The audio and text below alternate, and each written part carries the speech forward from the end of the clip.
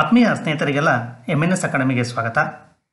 ಸ್ನೇಹಿತರೆ, ಈ ವಿಡಿಯೋದಲ್ಲಿ ನಾವು ಭಾರತದ ಸಂವಿಧಾನ ವಿಷಯಕ್ಕೆ ಸಂಬಂಧಪಟ್ಟಂತೆ ಭಾರತ ಸಂವಿಧಾನದ ಪ್ರಮುಖ ಪ್ರಶ್ನೋತ್ತರಗಳು ಮೋಸ್ಟ್ ಎಕ್ಸ್ಪೆಕ್ಟೆಡ್ ಕ್ವಶನ್ಸ್ಗಳ ಬಗ್ಗೆ ಡಿಸ್ಕಸ್ ಮಾಡೋಣ.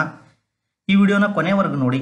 ಈ ವಿಡಿಯೋ ನಿಮಗೆ ಇಷ್ಟವಾದರೆ ಅದನ್ನು ಲೈಕ್ ಮಾಡಿ, ಹಾಗೆ ಇದ್ರ ಬಗ್ಗೆ ಕಮೆಂಟ್ಸ್ ಮಾಡಿ, ನಿಮ್ಮ ಸ್ನೇಹಿತರಿಗೂ ಶೇರ್ ಮಾಡಿ ಅಂತ ಹೇಳ್ತಾ. ಹೊಸದಾಗಿ ಈ ವಿಡಿಯೋ ನೋಡ್ತಕ್ಕಂಥ ನಮ್ಮ ಸ್ನೇಹಿತರು, ನಮ್ಮ ಎಂ ಎನ್ ಎಸ್ ಅಕಾಡೆಮಿ ಚಾನಲ್ಗೆ ಸಬ್ಸ್ಕ್ರೈಬ್ ಆಗಿ, ನಮ್ಮ ಚಾನಲ್ನ ಪ್ಲೇಲಿಸ್ಟ್ ಇರ್ತಕ್ಕಂಥ ಎಲ್ಲ ವಿಡಿಯೋಗಳನ್ನು ನೋಡಿ ಅಂತ ಹೇಳ್ತಾ. ಮೊದಲನೇ ಪ್ರಶ್ನೆ, ಭಾರತದ ಒಕ್ಕೂಟ ವ್ಯವಸ್ಥೆಯ ಪರಿಕಲ್ಪನೆಯನ್ನು ಯಾವ ದೇಶದ ಸಂವಿಧಾನದಿಂದ ತೆಗೆದುಕೊಳ್ಳಲಾಗಿದೆ? ಭಾರತದ ಒಕ್ಕೂಟ ವ್ಯವಸ್ಥೆ ಈ ಪರಿಕಲ್ಪನೆಯನ್ನು ಕೆನಡಾ ಸಂವಿಧಾನದಿಂದ ತೆಗೆದುಕೊಳ್ಳಲಾಗಿದೆ. ಅಮೆರಿಕ ಸಂವಿಧಾನದಿಂದ ಸ್ವತಂತ್ರ ನ್ಯಾಯಾಂಗ ಮತ್ತು ಲಿಖಿತ ಸಂವಿಧಾನವನ್ನು ತೆಗೆದುಕೊಂಡರೆ ಕೇಂದ್ರ, ರಾಜ್ಯ ಹಾಗೂ ಸಮವರ್ತಿ ಸೂಚಿಗಳನ್ನು ಆಸ್ಟ್ರೇಲಿಯಾ ಸಂವಿಧಾನದಿಂದ ಪಡೆದುಕೊಳ್ಳಲಾಗಿದೆ. ಸಂಸದೀಯ ಸ್ವರೂಪದ ಸರ್ಕಾರವನ್ನು ಬ್ರಿಟನ್ನಿಂದ ಪಡೆದುಕೊಳ್ಳಲಾಗಿದೆ. ಎರಡನೇ ಪ್ರಶ್ನೆ, ಭಾರತೀಯ ಸಂವಿಧಾನದ ಪ್ರಸ್ತಾವನೆಯನ್ನು ಎಷ್ಟು ಬಾರಿ ತಿದ್ದುಪಡಿ ಮಾಡಲಾಗಿದೆ? ಕೇವಲ ಒಂದು ಬಾರಿ ಭಾರತದ ಸಂವಿಧಾನದ ಪ್ರಸ್ತಾವನೆ ತಿದ್ದುಪಡಿ ಮಾಡಲಾಗಿದೆ. ಅದು ಸಾವಿರದ ಒಂಬೈನೂರ ಎಪ್ಪತ್ತಾರರ ನಲವತ್ತೆರಡನೇ ಸಂವಿಧಾನ ತಿದ್ದುಪಡಿ ಕಾಯ್ದೆ. ಈ ಕಾಯ್ದೆ ಸಂವಿಧಾನದ ಪ್ರಸ್ತಾವನೆಗೆ ಮೂರು ಪದಗಳನ್ನು ಸೇರಿಸಿದೆ. ಅವುಗಳೆಂದರೆ, ಸಮಾಜವಾದಿ, ಸೋಷಲಿಸ್ಟ್ ಎರಡನೇದು ಜಾತ್ಯತೀತ ಸೆಕ್ಯುಲರ್ ಮೂರನೇದು ಅಖಂಡತೆ ಇಂಟಿಗ್ರಿಟಿ ಮೂರನೇ ಪ್ರಶ್ನೆ, ಸಾಮಾನ್ಯ ಬಜೆಟ್ ಅಂಗೀಕಾರವಾಗುವ ಮೊದಲೇ ಸಂಸತ್ತು ಮಂಜೂರು ಮಾಡುವ ಮುಂಗಡ ಪಾವತಿಗಳನ್ನು ಏನೆಂದು ಕರೆಯುತ್ತಾರೆ? ಇದನ್ನು ಆನ್ ಅಕೌಂಟ್, ಲೇಖಾನುದಾನ ಎಂದು ಕರೆಯುತ್ತಾರೆ ಈ ಲೇಖಾನುದಾನವನ್ನು ಎರಡು ತಿಂಗಳ ಅವಧಿಗೆ ಇಡೀ ವರ್ಷದ ಬೇಡಿಕೆ ಅನುದಾನಗಳ ಒಟ್ಟು ಮೊತ್ತದ ಆರನೇ ಒಂದು ಭಾಗಕ್ಕೆ ಸಮನಾದ ಮೊತ್ತವನ್ನು ತೆಗೆದುಕೊಳ್ಳಲಾಗುತ್ತದೆ. ನಾಲ್ಕನೇ ಪ್ರಶ್ನೆ, ಕೆಳಗಿನ ಹೇಳಿಕೆಗಳನ್ನು ಪರಿಶೀಲಿಸಿ. ಎ, ಭಾರತದಲ್ಲಿ ರಾಜ್ಯಸಭೆಯ ಸದಸ್ಯರ ಅಧಿಕಾರಾವಧಿ ಆರು ವರ್ಷಗಳು. ಬಿ, ರಾಜ್ಯಸಭೆಯ ಹನ್ನೆರಡು ಜನ ಸದಸ್ಯರು ರಾಷ್ಟ್ರಪತಿಗಳಿಂದ ನಾಮಕರಣಗೊಂಡಿರುತ್ತಾರೆ. ಮೇಲಿನವುಗಳಲ್ಲಿ ಸರಿಯಾದ ಹೇಳಿಕೆ ಅಥವಾ ಹೇಳಿಕೆಗಳು. ರಾಜ್ಯಸಭೆ ಒಂದು ಶಾಶ್ವತ ಸದನ. ರಾಜ್ಯಸಭೆ ಸದಸ್ಯರ ಅವಧಿ ಆರು ವರ್ಷಗಳು. ಪ್ರತಿ ಎರಡು ವರ್ಷಕ್ಕೊಮ್ಮೆ ಮೂರನೇ ಒಂದು ಭಾಗದ ಸದಸ್ಯರು ನಿವೃತ್ತರಾಗ್ತಾರೆ. ರಾಜ್ಯಸಭೆಯ ಸದಸ್ಯರ ಸಂಖ್ಯೆ ಇನ್ನೂರ ಐವತ್ತನ್ನು ಮೀರುವಂತಿಲ್ಲ. ಇವರಲ್ಲಿ ಹನ್ನೆರಡು ಮಂದಿಯನ್ನು ರಾಷ್ಟ್ರಪತಿಯವರು ನಾಮನಿರ್ದೇಶನ ಮಾಡುತ್ತಾರೆ. ಹಾಗಾಗಿ ಕೊಟ್ಟಿರುವ ಹೇಳಿಕೆಗಳಲ್ಲಿ ಎ ಮತ್ತು ಬಿ ಎರಡೂ ಸರಿಯಾದ ಹೇಳಿಕೆಗಳು. ಐದನೇ ಪ್ರಶ್ನೆ, ಈ ಕೆಳಗೆ ನಮೂದಿಸಿರುವ ಸಂವಿಧಾನಗಳಲ್ಲಿ ಯಾವುದರಿಂದ ಭಾರತದ ಸಂವಿಧಾನದಲ್ಲಿರುವ ರಾಜ್ಯ ನಿರ್ದೇಶಕ ತತ್ವಗಳನ್ನು ಅಳವಡಿಸಿಕೊಳ್ಳಲಾಗಿದೆ? ಸಂವಿಧಾನದ ಭಾಗ ನಾಲ್ಕರಲ್ಲಿರುವ ರಾಜ್ಯ ನೀತಿ ನಿರ್ದೇಶಕ ತತ್ವಗಳನ್ನು ಐರಿಷ್ ಸಂವಿಧಾನ, ಐರ್ಲೆಂಡಿನ ಸಂವಿಧಾನದಿಂದ ಅಳವಡಿಸಿಕೊಳ್ಳಲಾಗಿದೆ. ಆರನೇ ಪ್ರಶ್ನೆ, ಈ ಕೆಳಗಿನವುಗಳಲ್ಲಿ ಯಾರು ಸಂಸತ್ತಿನ ಜಂಟಿ ಅಧಿವೇಶನದ ಅಧ್ಯಕ್ಷತೆಯನ್ನು ವಹಿಸುತ್ತಾರೆ? ಸಂಸತ್ತಿನ ಉಭಯ ಸದನಗಳ ಜಂಟಿ ಅಧಿವೇಶನವನ್ನು ರಾಷ್ಟ್ರಪತಿಯವರು ಕರೆಯುತ್ತಾರೆ. ಅದರ ಅಧ್ಯಕ್ಷತೆಯನ್ನು ಲೋಕಸಭಾಧ್ಯಕ್ಷರು, ಲೋಕಸಭೆ ಸ್ಪೀಕರ್ ಅವರು ವಹಿಸಿಕೊಳ್ತಾರೆ. ಹಾಗಾಗಿ ಇದಕ್ಕೆ ಸರಿಯಾದ ಉತ್ತರ ಲೋಕಸಭಾಧ್ಯಕ್ಷರು. ಏಳನೇ ಪ್ರಶ್ನೆ, ಭಾರತದ ರಾಷ್ಟ್ರಪತಿಗಳಿಗೆ ಸಂಬಂಧಿಸಿದಂತೆ ಈ ಕೆಳಗಿನ ಯಾವ ಹೇಳಿಕೆ ಅಥವಾ ಹೇಳಿಕೆಗಳು ತಪ್ಪಾಗಿವೆ?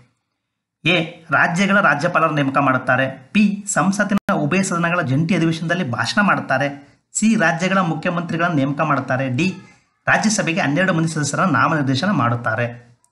ಸಂವಿಧಾನದ ನೂರ ಐವತ್ತೈದನೆಯ ವಿಧಿ ಪ್ರಕಾರ ರಾಜ್ಯಗಳ ರಾಜ್ಯಪಾಲರನ್ನು ರಾಷ್ಟ್ರಪತಿಗಳು ನೇಮಕ ಮಾಡುತ್ತಾರೆ. ಇದು ಅವರ ಕಾರ್ಯಾಂಗ ಅಧಿಕಾರ.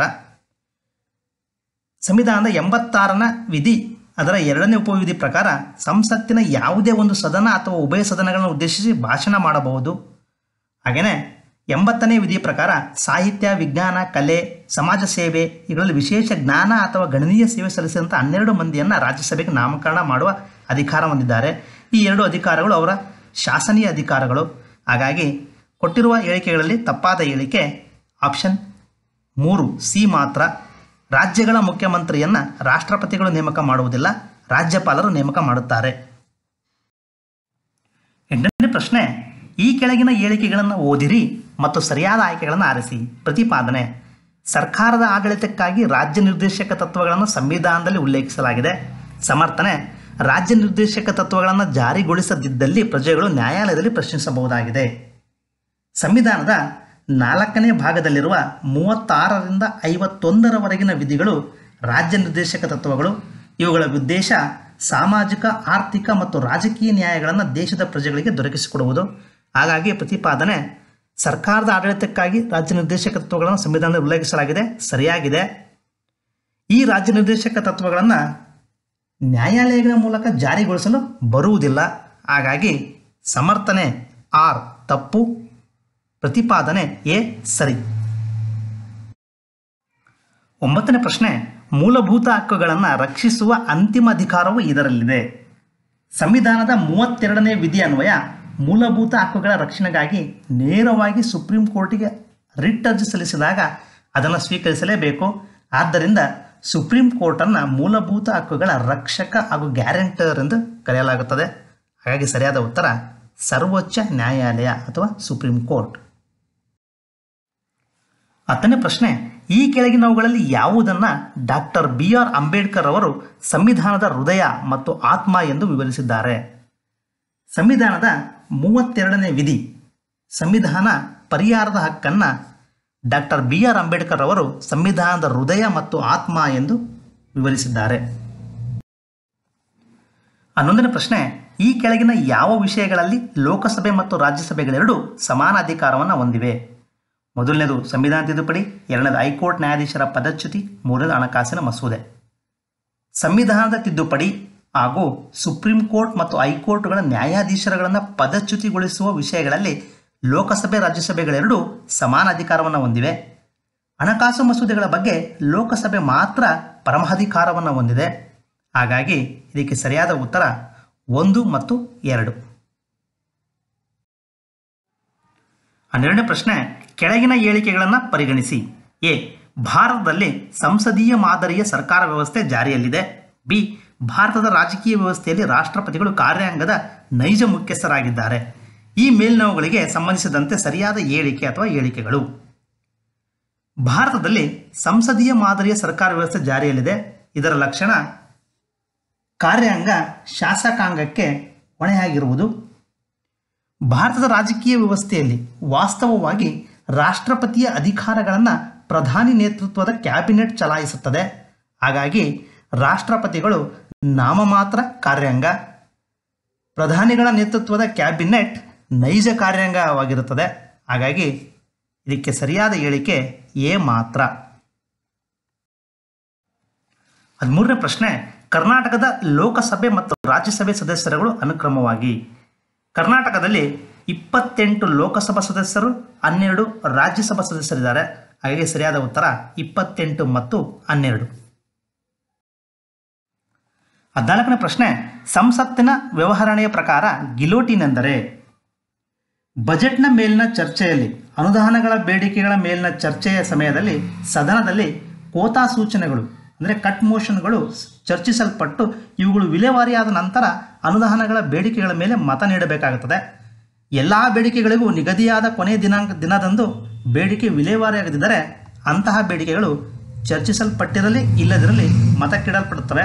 ಇದನ್ನು ಗಿಲೋಟಿನ್ ಎಂದು ಕರೆಯಲಾಗುತ್ತದೆ. ಹಾಗೆ ಇದಕ್ಕೆ ಸರಿಯಾದ ಉತ್ತರ ಹಣಕಾಸಿನ ಎಲ್ಲ ಬೇಡಿಕೆಗಳು ಕಾಲಮಿತಿಯೊಳಗೆ ಮುಕ್ತಾಯವಾಗದಿದ್ದರೆ ಚರ್ಚಿಸಲ್ಪಟ್ಟಿರಲಿ ಇಲ್ಲದಿರಲಿ ಮತಕ್ಕೆ ಇಡಲಾಗುತ್ತದೆ. ಹದಿನೈದು ಪ್ರಶ್ನೆ, ಕೆಳಗಿನ ಯಾವ ಲಕ್ಷಣಗಳು ಭಾರತ ಒಕ್ಕೂಟ ಮತ್ತು ಅಮೆರಿಕ ಒಕ್ಕೂಟಗಳೆರಡಕ್ಕೂ ಸಾಮಾನ್ಯವಾಗಿವೆ? ಭಾರತ ಸಂವಿಧಾನದ ಸ್ವಾತಂತ್ರ್ಯ ನ್ಯಾಯಾಂಗ ಮತ್ತು ಸರ್ವೋಚ್ಚ ನ್ಯಾಯಾಲಯ ಮತ್ತು ಅದರ ಕಾರ್ಯಗಳು, ನ್ಯಾಯಿಕ ವಿಮರ್ಶೆ ಈ ಎಲ್ಲ ವಿಷಯಗಳನ್ನು ಅಮೆರಿಕ ಸಂವಿಧಾನದಿಂದ ಪಡೆಯಲಾಗಿದೆ. ಹಾಗಾಗಿ ಇದಕ್ಕೆ ಸರಿಯಾದ ಉತ್ತರ ಸಂವಿಧಾನ ಅರ್ಥೈಸುವುದಕ್ಕೆ ಒಕ್ಕೂಟದ ಸರ್ವೋಚ್ಚ ನ್ಯಾಯಾಲಯ. ಹದಿನಾರನೇ ಪ್ರಶ್ನೆ, ಲೋಕಸಭೆಯಲ್ಲಿ ಆಂಗ್ಲೋ ಇಂಡಿಯನ್ನರಿಗೆ ಪ್ರಾತಿನಿಧ್ಯ ಒದಗಿಸುವ ಭಾರತೀಯ ಸಂವಿಧಾನದ ಅನುಚ್ಛೇದ ಯಾವುದು ಮತ್ತು ಅವರಿಗೆ ಮೀಸಲಾದ ಸ್ಥಾನಗಳು ಎಷ್ಟು? ಲೋಕಸಭೆಯಲ್ಲಿ ಆಂಗ್ಲೋ ಇಂಡಿಯನ್ನರಿಗೆ ಪ್ರಾತಿನಿಧ್ಯ ಒದಗಿಸುವ ಭಾರತೀಯ ಸಂವಿಧಾನದ ಅನುಚ್ಛೇದ ಮುನ್ನೂರ ಮೂವತ್ತೊಂದು, ಅವರಿಗೆ ಮೀಸಲಾದ ಸ್ಥಾನಗಳು ಎರಡು. ಹದಿನೇಳನೇ ಪ್ರಶ್ನೆ ಸಾವಿರದ ಒಂಬೈನೂರ ಐವತ್ಮೂರರಲ್ಲಿನ ರಾಜ್ಯಗಳ ಪುನರ್ವಿಂಗಡಣಾ ಆಯೋಗದ ಅಧ್ಯಕ್ಷರು. ಸಾವಿರದ ಒಂಬೈನೂರ ಐವತ್ತ್ಮೂರರ ರಾಜ್ಯ ಪುನರ್ವಿಂಗಡಣಾ ಆಯೋಗ ಇದು ಮೂರು ಸದಸ್ಯರ ಒಂದು ಆಯೋಗ.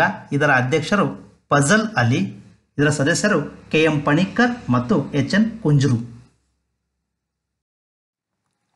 ಹದಿನೆಂಟನೇ ಪ್ರಶ್ನೆ, ಕರ್ನಾಟಕದಲ್ಲಿ ಪಂಚಾಯತ್ ರಾಜ್ ಕಾಯ್ದೆ ಸಾವಿರದ ಒಂಬೈನೂರ ತೊಂಬತ್ಮೂರು ಅಸ್ತಿತ್ವಕ್ಕೆ ಬಂದ ದಿನಾಂಕ.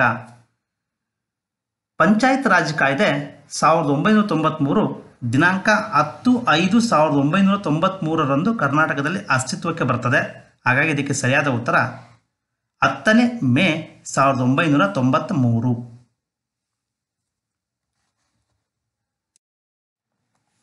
ಹತ್ತೊಂಬತ್ತನೇ ಪ್ರಶ್ನೆ, ಸಂವಿಧಾನದ ಯಾವ ಅನುಚ್ಛೇದದ ಪ್ರಕಾರ ವಿದೇಶಿ ದಾಳಿ ಮತ್ತು ಆಂತರಿಕ ಸಂಕ್ಷೋಭೆಗಳಿಂದ ರಾಜ್ಯವನ್ನು ಕೇಂದ್ರ ಸರ್ಕಾರವು ರಕ್ಷಿಸಬೇಕು? ಸಂವಿಧಾನದ ಅನುಚ್ಛೇದ ಮುನ್ನೂರ ಐವತ್ತೈದು. ಇದು ಬಾಹ್ಯ ಆಕ್ರಮಣದ ವಿರುದ್ಧ ಹಾಗೂ ಆಂತರಿಕ ಗಲಭೆಗಳು ಗಳಿಂದ ರಾಜ್ಯವನ್ನು ರಕ್ಷಿಸುವ ಹೊಣೆಯನ್ನು ಕೇಂದ್ರಕ್ಕೆ ವಹಿಸುತ್ತದೆ. ಹಾಗಾಗಿ ಇದಕ್ಕೆ ಸರಿಯಾದ ಉತ್ತರ ಮುನ್ನೂರ ಐವತ್ತೈದನೇ ಅನುಚ್ಛೇದ. ಇಪ್ಪತ್ತನೇ ಪ್ರಶ್ನೆ, ನ್ಯಾಯಾಂಗ ಕ್ರಿಯಾಶೀಲತೆಗೆ ಸಂಬಂಧಿಸಿರುವುದು.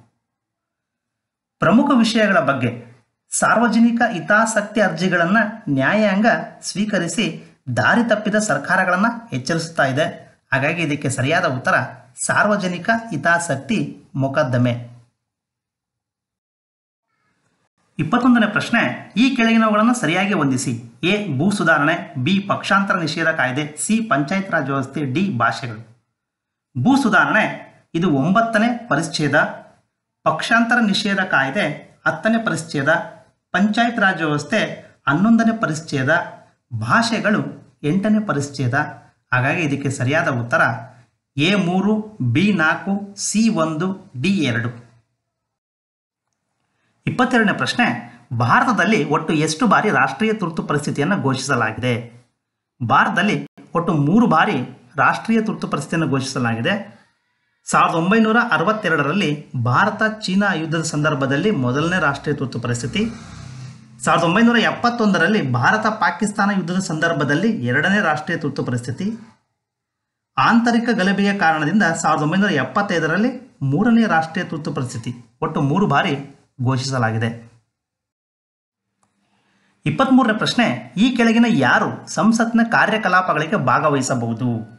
ಸಂವಿಧಾನದ ಎಂಬತ್ತೆಂಟನೇ ವಿಧಿ ಅನ್ವಯ ಅಟಾರ್ನಿ ಜನರಲ್ರವರು ಸಂಸತ್ತಿನ ಯಾವುದೇ ಸದನದಲ್ಲಿ ಅಥವಾ ಸಮಿತಿಯಲ್ಲಿ ಹಾಜರಾಗಿ ತಮ್ಮ ಅಭಿಪ್ರಾಯವನ್ನು ವ್ಯಕ್ತಪಡಿಸಬಹುದು. ಹಾಗಾಗಿ ಇದಕ್ಕೆ ಸರಿಯಾದ ಉತ್ತರ ಅಟಾರ್ನಿ ಜನರಲ್. ಇಪ್ಪತ್ನಾಲ್ಕನೇ ಪ್ರಶ್ನೆ, ತುರ್ತು ಪರಿಸ್ಥಿತಿ ನಿಯಮಾವಳಿಗಳು ಕೆಳಗಿನ ಯಾವ ದೇಶದ ಸಂವಿಧಾನದ ಪ್ರಭಾವ? ಸಂವಿಧಾನದ ಭಾಗ ಹದಿನೆಂಟರಲ್ಲಿ ಬರುವ ತುರ್ತು ಪರಿಸ್ಥಿತಿಯ ಉಪಬಂಧಗಳನ್ನು ಜರ್ಮನಿ ಸಂವಿಧಾನದಿಂದ ಪಡೆದುಕೊಳ್ಳಲಾಗಿದೆ. ಹಾಗಾಗಿ ಇದಕ್ಕೆ ಸರಿಯಾದ ಉತ್ತರ ಜರ್ಮನಿ ಸಂವಿಧಾನದ ಪ್ರಭಾವ. ಇಪ್ಪತ್ತೈದನೇ ಪ್ರಶ್ನೆ, ಕೆಳಗಿನ ಯಾವ ಹಕ್ಕು ಯಾವುದೇ ಸಂದರ್ಭದಲ್ಲೂ ರದ್ದಾಗುವುದಿಲ್ಲ. ಸಂವಿಧಾನದ ಅನುಚ್ಛೇದ ಇಪ್ಪತ್ತೊಂದು ಖಾತರಿಗೊಳಿಸುವ ವೈಯಕ್ತಿಕ ಜೀವ ಮತ್ತು ಸ್ವಾತಂತ್ರ್ಯದ ಹಕ್ಕುಗಳನ್ನು ಅಮಾನತುಗೊಳಿಸಲು ಯಾವ ಸಂದರ್ಭದಲ್ಲಿಯೂ ಸಾಧ್ಯವಿಲ್ಲ. ಹಾಗಾಗಿ ಇದಕ್ಕೆ ಸರಿಯಾದ ಉತ್ತರ, ಜೀವಿಸುವ ಮತ್ತು ವೈಯಕ್ತಿಕ ಸ್ವಾತಂತ್ರ್ಯದ ಹಕ್ಕು. ಆತ್ಮೀಯರೇ ಇದುವರೆಗೂ ನಮ್ಮ ವಿಡಿಯೋ ನೋಡೋದಕ್ಕಾಗಿ ಧನ್ಯವಾದಗಳು. ಮುಂದಿನ ವಿಡಿಯೋದಿಗೆ ಮತ್ತೆ ಭೇಟಿಯಾಗೋಣ. ಮತ್ತೊಮ್ಮೆ ಧನ್ಯವಾದಗಳು.